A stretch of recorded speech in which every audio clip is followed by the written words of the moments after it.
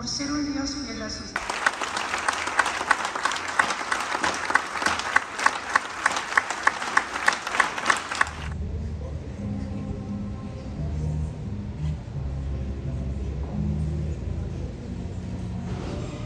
eh, la investigación tiene que ser algo científico, algo basado en los hechos, algo basado en expertos.